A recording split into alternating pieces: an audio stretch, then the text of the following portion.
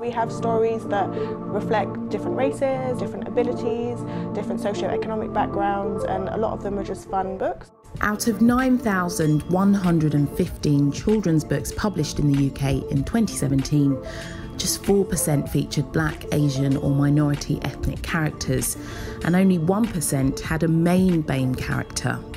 This children's bookshop in Brixton wants to change that.